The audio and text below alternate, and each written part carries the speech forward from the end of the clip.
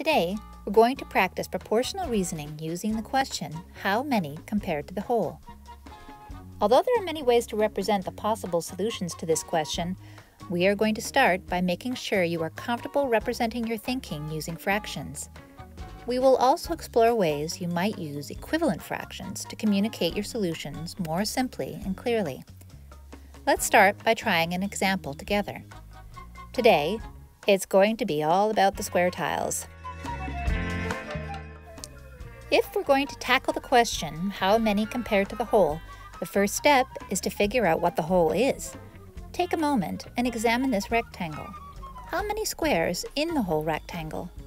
Pause and share your ideas.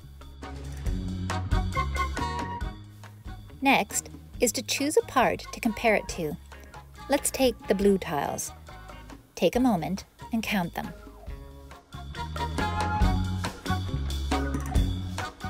Now the thing about fractions is that they have a nice basic system for recording the part compared to the whole. The denominator is for recording the whole. The numerator is for recording the part.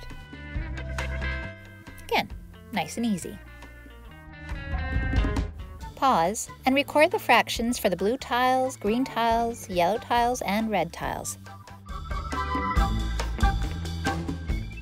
Okay, let's see. You should have ended up with 10 fifteenths for blue tiles, 3 fifteenths for the green, and 1 fifteenth for each of the yellow and red tiles. The next step is an important one. We're going to simplify each fraction if we can. This makes communication much clearer. What is a simplified fraction? You might say that a simplified fraction is an equivalent fraction in lowest terms. What on earth is that? Well, why don't you pause the video and take a little time to discuss. All right, I think it's best if I just show you. To make an equivalent fraction, I'm going to take the same amount and just group it a little differently. Watch. There. See that? Same amount, different groupings.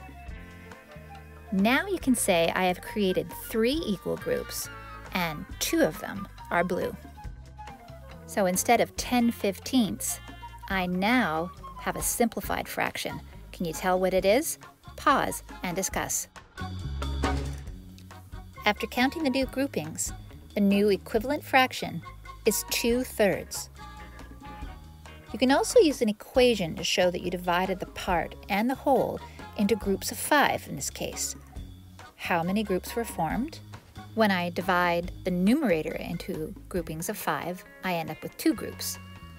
When I divide the denominator into groupings of 5, I end up with 1, 2, 3 groups in the whole. The fraction, again, 2 thirds. Watch as I simplify the other fractions. Pause the video and discuss it when you need to.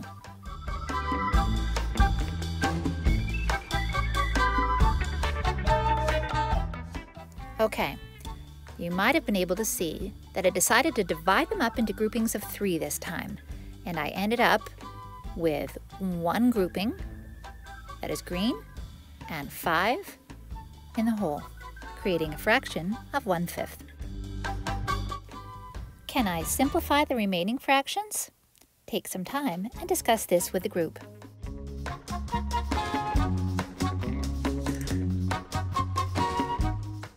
Okay, time for you to try one on your own.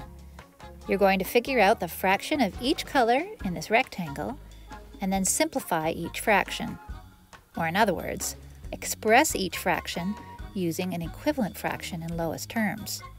If you have some square tiles around, it can be very handy for helping you find these equivalent fractions.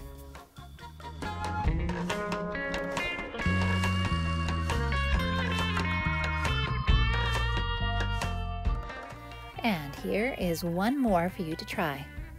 Good luck, everyone.